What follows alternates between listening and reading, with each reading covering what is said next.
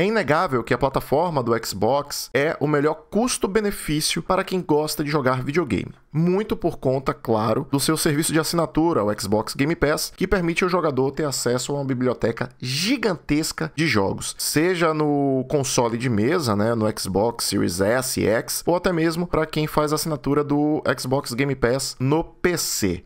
Mas nem todo mundo está satisfeito com esse formato de negócio da Microsoft e eu estou falando deles, os devs. Muito bem, muito bem, olá pessoas, eu sou Paulo Coy, sejam todos muito bem-vindos a esse vídeo onde eu irei comentar um pouquinho sobre essa última treta envolvendo alguns desenvolvedores e uh, esse modelo de negócio da Microsoft. Mas assim, eu não vou, eu, talvez eu consiga dar a minha opinião, mas eu quero avaliar os dois lados da moeda, na verdade, os três lados dessa moeda moeda. Primeiro, eu, como jogador, que às vezes assino, às vezes não assino o Xbox Game Pass, tentar entender um pouco o lado também dos desenvolvedores e obviamente, uh, analisar não tão aprofundadamente assim, porque eu não tenho essa profundidade de informações, o lado mais rico dessa moeda, que é o da Microsoft. Mas antes eu peço desde já que você deixe o like nesse vídeo, se inscreva no canal e ative o sininho para vocês não perderem nenhum conteúdo. Não é de hoje que os desenvolvedores dão uma é, cutucada no serviço de game, do Game Pass, né, o serviço de assinatura de jogos da Microsoft. E essa última treta começou com o Thomas Mahler, criador dos jogos Ori, que são maravilhosos, Ori The Blind Forest e o Ori Will of the Wisps. E foi desenvolvido pela Moon Studios, que atualmente está trabalhando no No Rest for the Wicked. Que inclusive, Moon Studio, manda aí para mim uma, aqui do No Rest for the Week. Tô, tô, muito curioso por esse jogo. Mas enfim, o jogo tá em desenvolvimento. Na verdade, foi lançado agora por acesso antecipado. Tá sendo muito elogiado. E com isso, a Moon Studios voltou ali a aparecer nos comentários, no Twitter principalmente. E enquanto o Thomas Mahler estava respondendo a elogios de, de seguidores no Twitter, ele comentou que se vocês. É, que a melhor forma de ajudar a Moon Studio é simplesmente comprando o Ori ou outros jogos da Moon Studio. E isso fez com que alguns seguidores lá no Twitter, o antigo X, se questionassem: mas espera aí, e o Game Pass? Não, não conta? Então, aí o cara falou: então, mas se você realmente quer ajudar a Moon Studio, compre o jogo. E isso, mais uma vez, levantou todo um burburinho a respeito do, da, do formato do, do Xbox Game Pass. E junto a essas, eh, essas perguntas e respostas, ele ainda comentou: eles não recebem mais nada financeiramente com as pessoas que jogam o Ori pelo Xbox Game Pass. Ele diz que depois que as pessoas jogam o Ori pelo Game Pass, elas não retornam ao jogo, elas não compram o jogo. É, inclusive, ele dá exemplos, né? Que você pode muito bem comprar o, o, os jogos pela Nintendo Store para o Nintendo Switch ou até mesmo pelo Xbox Store. Mas, por conta do Game Pass, a pessoa vai lá, joga o jogo, ele provavelmente não vai comprar aquele jogo depois, entendeu? Ele vai jogar e vai ficar por isso mesmo. E assim, aí vem a parte de Paulo como jogador. É verdade, é verdade. Você que faz uma assinatura, digamos, anual do Xbox Game Pass, você vai ter 365 dias do seu ano para poder jogar um jogo. O Ori in the Bad Forest, que é um exemplo que a gente está utilizando aqui, foi um jogo que eu zerei em 6 horas. Então não precisava nem de meio mês, nem de meio dia, cara, para você zerar o Ori in the Bad Forest. Então então, é, depois de você ter jogado o game, e claro, obviamente tem pessoas que vão fazer 100% do jogo e tal, vão explorar, mas ainda assim não consome uma assinatura inteira de um mês de um Xbox Game Pass. E aí você fica naquela, putz, vou comprar para ajudar o estúdio, mas aí, eu já fiz a assinatura. Esse jogo não, não estou jogando esse jogo de graça. Né? Eu fiz a assinatura, eu paguei, acho que é, tá 35, 40 reais uh, no início do mês, e parte dessa, desse valor, entendo eu, já que eu estou pagando, deve ser distribuído a desenvolvedor desenvolvedora do jogo. Pelo que o, o Mahler deixou entender, não é bem assim. Ele fala com todas as letras que ele não recebe mais nada das pessoas que jogam os jogos da Moon Studio através do Xbox.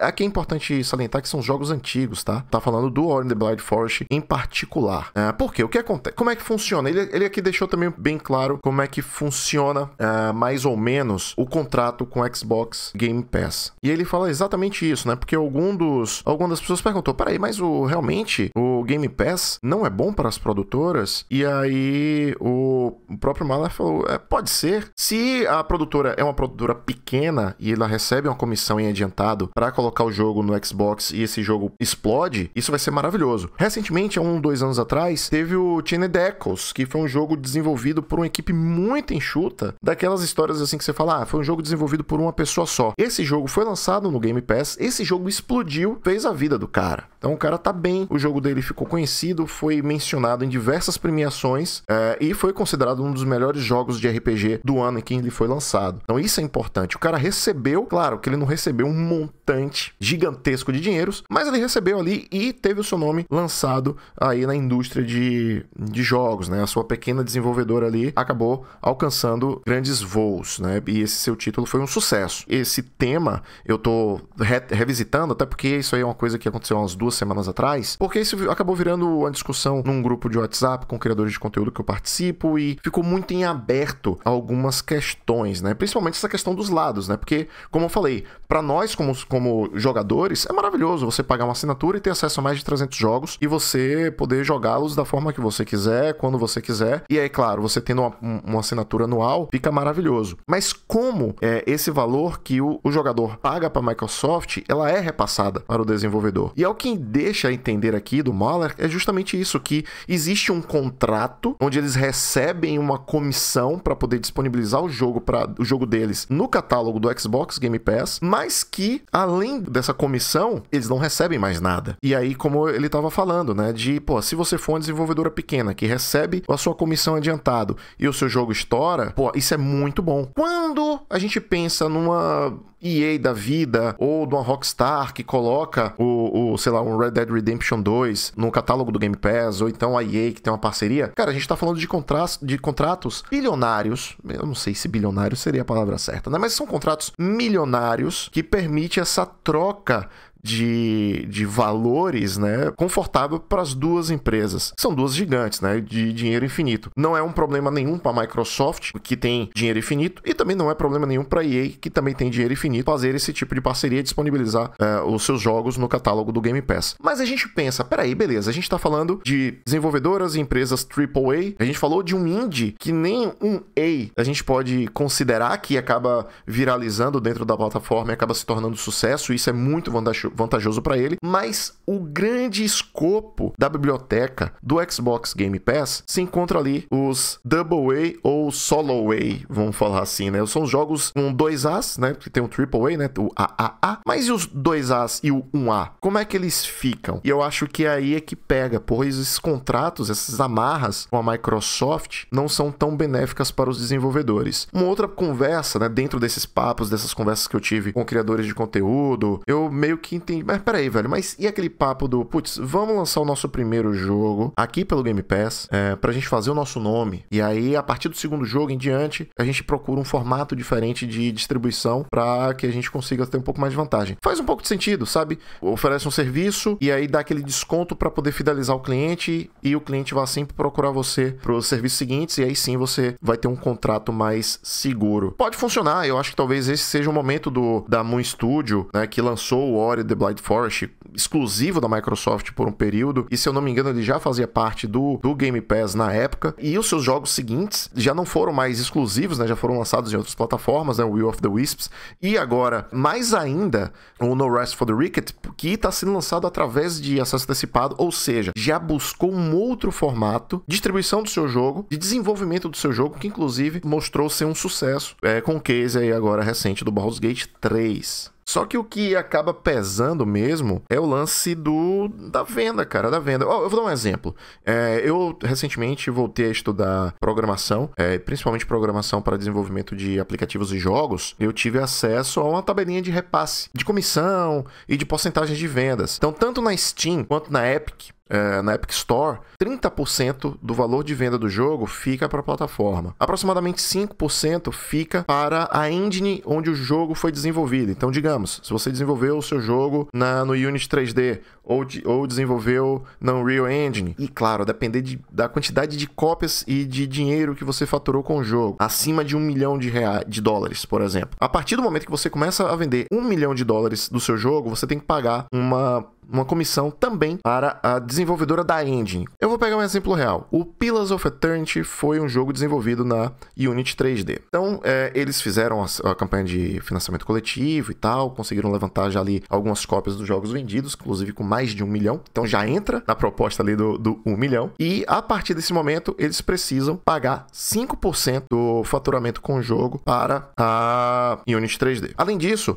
Todas as cópias que foram vendidas no Steam, eles pagam uma comissão de 30% para o Steam e o restante fica para o desenvolvedor. Isso é um padrão utilizado pelo mercado de jogos que utilizam essas engines e comercializam os jogos nessas plataformas. Não existe uma clareza de como funciona o contrato do Xbox Game Pass com os devs. Por mais que uh, eles vão lá no Twitter, no antigo X, e reclamem desses contratos e que eles não recebem nada com o jogo que está lá, ou até mesmo o que o próprio Mahler falou aqui, que os números que vêm da Microsoft, é, eles sabem que a maioria das pessoas não compram os jogos que ficam disponíveis no Game Pass. E faz completo sentido. Afinal de contas, a pessoa já jogou o jogo.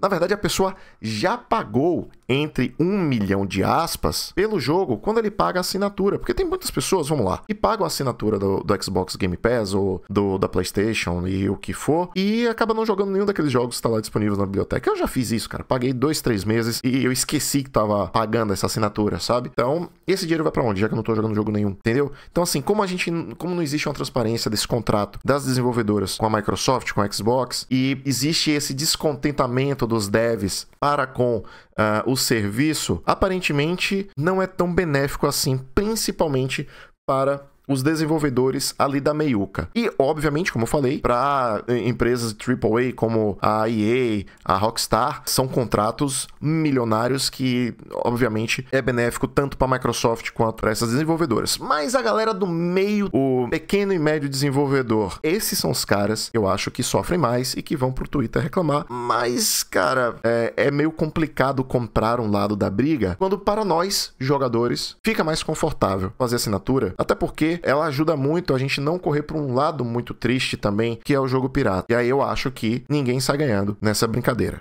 Eu gostaria de saber de vocês o que é que vocês acham dessa treta inteira. Eu não sei se eu consegui ser claro com o meu pensamento a respeito desse tema, mas é, eu quero saber de vocês. O que é que vocês acham dessa treta toda envolvendo o pequeno e médio desenvolvedor de jogos e o Xbox Game Pass? Então deixe aqui nos comentários, junto, é claro, com o seu like. Se você ainda não se inscreveu no canal, se inscreva e ative o sininho para vocês não perderem nenhum conteúdo. Eu vou ficando por aqui. Fiquem bem. Até a próxima. Tchau, tchau.